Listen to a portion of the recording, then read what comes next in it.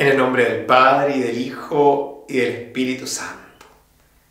El Dios que nos regala el fuego de su amor esté con ustedes. Del Evangelio según San Lucas. Jesús dijo a sus discípulos, Yo he venido a traer fuego sobre la tierra y cuánto desearía que ya estuviera ardiendo. Tengo que recibir un bautismo ¿Y qué angustia siento hasta que se cumpla plenamente? ¿Piensan ustedes que he venido a traer paz a la tierra? No, les digo que he venido a traer división. De ahora en adelante, cinco miembros de una familia estarán divididos, tres contra dos y dos contra tres. El padre contra el hijo y el hijo contra el padre. La madre contra la hija y la hija contra la madre la suegra contra la nuera y la nuera contra la suegra.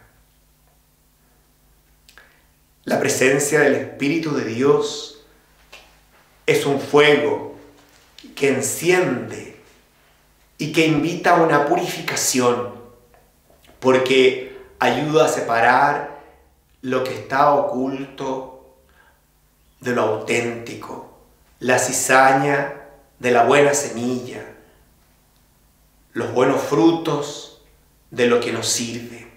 Muchas veces Jesús hablará de este discernimiento, pero con el fuego del Espíritu Santo vamos a encontrar la forma de actuar según el querer del Señor y la valentía para no dudar en emprender aquello si es el querer de Dios y la determinación para no volvernos atrás en el camino emprendido.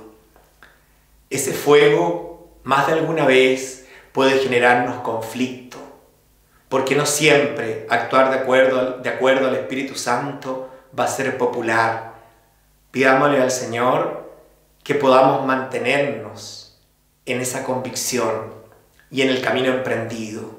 Se lo pedimos hoy por la intercesión de Juan Pablo II, el Papa estuvo con nosotros el Papa del Amor, el misionero de la paz.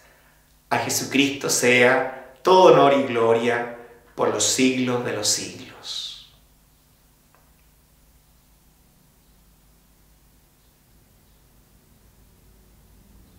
Creo, Jesús mío, que estás real y verdaderamente en el cielo y en el santísimo sacramento del altar. Te amo por sobre todas las cosas y deseo vivamente recibirte dentro de mi alma. Mas, no pudiéndolo hacer ahora sacramentalmente, ven espiritualmente a mi corazón. Y como si ya te hubiese recibido, te abrazo y me uno del todo a ti. Señor, no permitas que me separe de ti. Que por la intercesión de San Juan Pablo II les bendiga el que es Padre, Hijo y Espíritu Santo.